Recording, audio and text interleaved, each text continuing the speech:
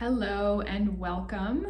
My name is Rowan Garlow. I am a trauma recovery practitioner and voice dialogue or parts work is one of the modalities that I utilize both with myself and my clients in addition to somatic experiencing, timeline work, inner child work, and a lot of other things that have really helped me in the process of rehabilitation. Um, I won't say more about that even though there's a lot that I want to say just because I want to keep this video very exclusive to speaking about voice dialogue and it, this is just going to be an introduction, a little bite-sized piece, because if I were to go into all of what voice dialogue really is and how it functions, we would literally be here all day. So to really begin to break it down, voice dialogue is a process that was created by Hal and Sidra Stone. And what's beautiful about this process is it wasn't really originally brought in as a trauma recovery process per se it was brought in as a curious, consciousness expanding process that was designed to improve relationships. So, Hal and Sidra, this process was birthed by them through their own desire to have more meaningful and full and complete relationships, not only with themselves, but with each other and the people around them. So, what I love about voice dialogue is it's not a there's something wrong with you, let's fix it process. It is a consciousness expanding process. It's an aware ego process. So let's break that down a little bit. What is an aware ego? An aware ego is something that needs to be developed. Most of us, until we find our way either through some kind of awakening experiences where the things that were once in our subconscious, the things that we're not aware of about ourselves start to come into conscious view, we are operating from our operating ego, which is essentially all of our primary selves clustered in together. And these primary selves are running the show. So, what is a primary self? A primary self is going to be born out of a vulnerability.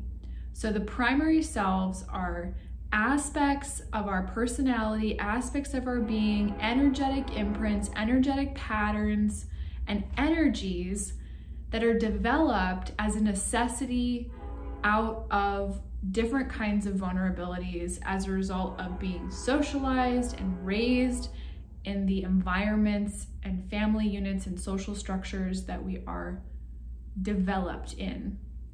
So, primary selves are going to be running the show until we bring in something like an aware ego process. Now, from these from this operating ego, what's what's just going to be running automatically, there's not a whole lot of choice that's available to us. We feel sort of hijacked by our own selves. We feel hijacked in moments by particular parts of us, and there isn't a whole lot of choice available. Uh, we may also feel like we're at war with ourselves. And the thing about these different parts that we go into dialogue with is they're opposites. So they're born in pairs of opposites. So for every this part, there is always going to be an opposite. And typically, the primary self, when we're looking what's over here, it's going to be a disowned self. That's what's usually been swept under the rug, living in the basement, and we're going to typically have a little bit less awareness about this disowned self. Now, there is a direct relationship between the primary selves, our operating ego, and this aware ego, meaning that the more uh, development that we have of this aware ego, the more access that we have to choice, the more expanded our consciousness becomes, the less we have to rely on these primary selves to run our life. And we don't really want to be running our life from these primary selves because it's an automatic pattern. There's no consciousness behind that a lot of times. And not only that, but remember how I said these primary selves are born out of a vulnerability. So they're there running and operating automatically because the vulnerability is not being taken care of directly. So, voice dialogue is a consciousness reorganization, rehabilitation, and curious, expansive process. It's so amazing. Now, what's different about something like voice dialogue compared to, let's say, internal family systems? You might have heard something like internal family systems, is that IFS is has a set number of selves. So there are this many selves, this is what you're looking for within a person. Voice dialogue is not like that. Yes, there are typical primary selves that you're going to see coming out, such as, let's say, the pusher, the inner critic, the caregiver, manager, controller, the judge, the rebel, the perfectionist, being, doing, optimist, pessimist. And some of these primary selves are what we call game changers, meaning that when we alter these, let's say, um, pessimist and optimist, that's an example of a game changer, it is like the soup that the rest of our, or like the, excuse me, like the broth that the rest of ourselves are sort of sitting in. If the rest of ourselves are like the vegetables, these game changers are the broth. It's it's the environment, the sort of texture that the rest of ourselves are living in. So when we alter these these major game changers like optimist, pessimist, spiritual versus nihilistic, uh, being versus doing, when we change the energy dynamics there, we actually change the environment that the rest of ourselves are living in, right? Because what this process is saying is that we are really multidimensional. And the way that we open up that multidimensionality is through being in direct relationship with the multitudes of ourselves and sort of being an internal alchemist where we can shift the relationships, shift not only our relationship to these parts and what is vulnerable underneath them, but from the place and the development of the aware ego, we're able to appropriately rebalance and utilize energies in their highest form. So, voice dialogue is not a process of getting rid of certain parts and judging or kicking out. This is a process of, ex- of exploration. Let's look and see what is here, what isn't working, how can we rebalance these energies? What would be the exalted form of this energy? Meaning, if I were to take some of the burden off of this part that's had to really sort of bolster itself up, prop itself up, be very primary, be in the front of the system, if I were to sort of take care of what was vulnerable underneath that directly, how could I use that energy in a way that was more balanced and just leads to greater harmony within our life? And like I said, there's also these disowned selves and these disowned selves, these ones that, well, we disowned them because they weren't accepted by society. It wasn't safe to have these parts. That's why we had to adopt this other, these other sort of masks that get put on for the public or for families or friends or whoever. When we when we start to actually explore these disowned selves, we notice that our attraction to people outside of us, as well as our repulsion or judgment, has a lot to do with these disowned selves. And so, what's amazing about something like understanding voice dialogue is that it changes the way that you interact not only with yourself, but the way that you perceive what energetically is happening around you. You start to see that there are these opposites that are being reflected in the external, this push and pull of different energies. And why are we doing that?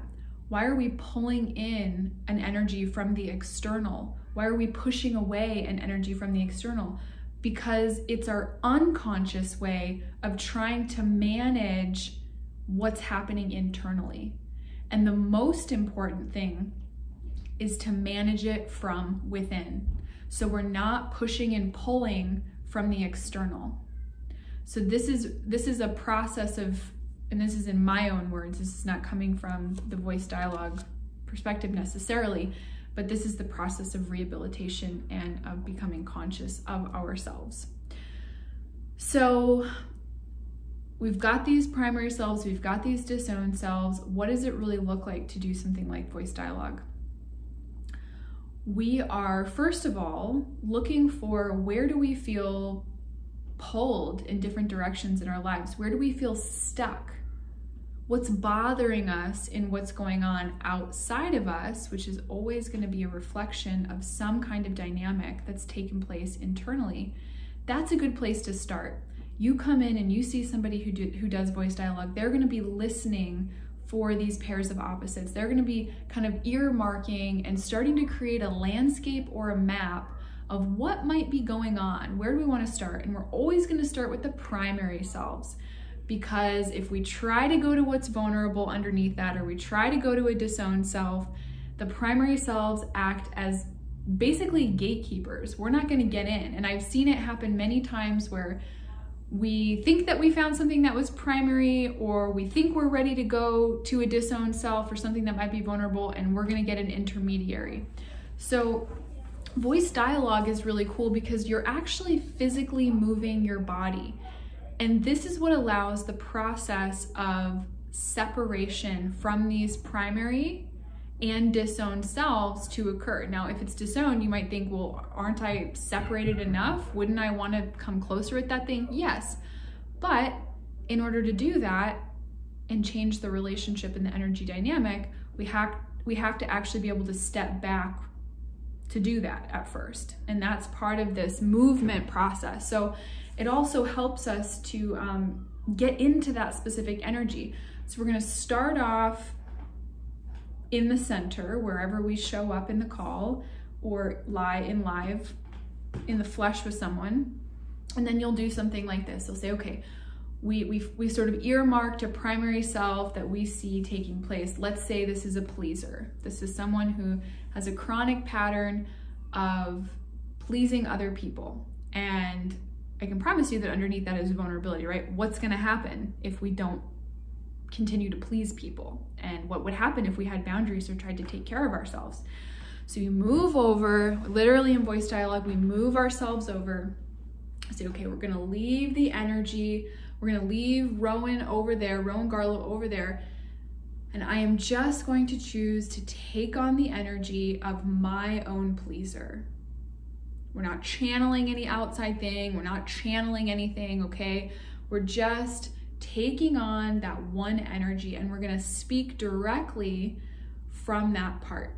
Now, you can do this yourself. You can do this with writing, with taking voice notes. Uh, you could walk along the sidewalk and the center could be the aware ego and then this side and this side could be apart on each you know a pair of opposites there's many ways to get creative with this but if you were doing this with a facilitator you would literally move over and i let's say i'm on the other side there i'm the facilitator i would have a conversation a very curious conversation with this part of you and there's a lot that goes into facilitating and different questions that we might ask and what we're kind of doing in that process, but I'm not going to go into all of that right now. So you speak from this part, okay, we get a pretty good sense of what's going on here, what might be underneath that. And then we move back to center. And this process of moving back to center is what allows you, as the person who's doing this consciousness process, to disidentify with that part for a moment. The aware ego is a practice and it's something that is cultivated. The aware ego is neutral, it doesn't have an agenda, it doesn't have an idea about how things should or should not be. And this is the place that we have access to choice from. We want to be living our lives from a space of free will sovereignty, meaning not being hijacked and pushed and pulled all over the place, and choice, which we can only do from an aware ego because ourselves have have been programmed in a way to to be a certain way. They they only know how to do that one thing and that is the way that they do it. That's it. So aware ego says, okay, interesting. What's going on with this pleaser? What's underneath that? Now, I, from here, from aware ego that I'm cultivating, can connect with what is vulnerable underneath this primary self. Let's say the primary, let's say underneath this primary pleaser self is fear of rejection. Now we can start to change the energy dynamics because now I can have a direct relationship with this fear of rejection, which means I'm lifting the burden off of this primary self, doesn't have to work so hard. And I get to see what is the benefit of something like a pleaser. I might be thinking, well, this is these are extreme ends of the spectrum. I don't know what's good about a pleaser. Well, if we had none of this energy, none of it, and we were all the way over here in the opposite, which for this person in this hypothetical situation, this one over here might be a disowned self. This might be someone who is like great with having boundaries. This is a part of the energy that's, that was always there, but has been swept into the basement that says, I don't care what other people think of me. I care about I care about taking care of myself. I care about right this this is what wasn't allowed. This is what wasn't safe. And there's going to be a vulnerability underneath that, especially for the fact that it's been swept away and disowned. So what could be positive about this? If we are all this and it's and it's just this extreme end of the spectrum, we are swinging ourselves like a pendulum between basically codependency and narcissism in the case of the pleaser and what's on the other side of it. When we have a little bit of this, we can feel other people we are connected to other people. We know how what we're going to do is going to impact them. When we're connected to this in, an, in a balanced way, in a way that is exalting this, we have boundaries. We're solid in ourselves. We're able to take action in our lives based on what's actually best for us, regardless of what the external is doing or saying. Now, what would happen if I suddenly had access to both of these energies, a dose, a homeopathic dose of each of these energies. And there's lots of different ways that we can work with this, bringing in the different energies, giving them their own space because we're not here to blend these energies. We're not here to to you know mix them up and sort of make a third. We're here to make a third option but the third option is the expanded aware ego which has the awareness of both understands where they're coming from takes care of the vulnerability underneath them and says you know what? You're really good at this this is what i'm going to use you for these are the moments i'm going to use you in you're really good at this same thing now we become the conductor of our own internal orchestra. And thank you to Hal and Sidra Stone for that analogy of becoming the conductor of our own orchestra instead of what is happening when we're operating out of this operating ego, like I was talking about in the beginning, we've got somebody coming on stage, they're playing the violin, this is what I'm gonna do, and then, oh, all of a sudden the cymbals, the drums are coming on, and then it's not harmonious. It doesn't, the music that's coming from the being is not harmonious. When we are in a state of, of expanded consciousness and awareness, which is an ongoing process. It's an ongoing practice to cultivate this. There is a symphony in every moment of our lives. We are able to choose. We are able to be sovereign and free and take care of ourselves appropriately and move through the world with a sense of flow instead of pushing and pulling with our own selves, which is going to reflect as pushing and pulling with these external energies in our relationships, and the world around us. So, I hope this is a nice little bite-sized piece for you to understand what is voice dialogue and if you are curious about this, reach out to me, reach out to, to anyone who's a voice dialogue facilitator and try it out because this process has, it's changed my life. So has somatic experiencing. So has understanding the mechanics of energy the mechanics of our existence, of the very architecture that makes up organic creation and understanding what is causing a collapse within our fields, within our architecture. Understanding these things, which, you know, I'm getting a little bit here outside of voice dialogue, has been absolutely life changing. And it's allowed me to authentically and organically get and be on that path of healing so I can be all of the things that I was named, that I just named. So I'm heading towards that path of resurrecting sovereignty, freedom, walking with my truest and highest and organic timeline in every moment. Because when we have access to choice, we have access to our organic timelines because every choice that we make puts us in a timeline in every single moment. And if those choices are being hijacked by unconscious or automatic patterns, we're going to be in some kind of a collapsed, unsustainable, disharmonious, right? Because look at the world around us. We are the beings who are saying, you know, enough is enough. Let's do something different. So thank you for being curious about this, being out there, and I hope you have a wonderful day. And I will see you again.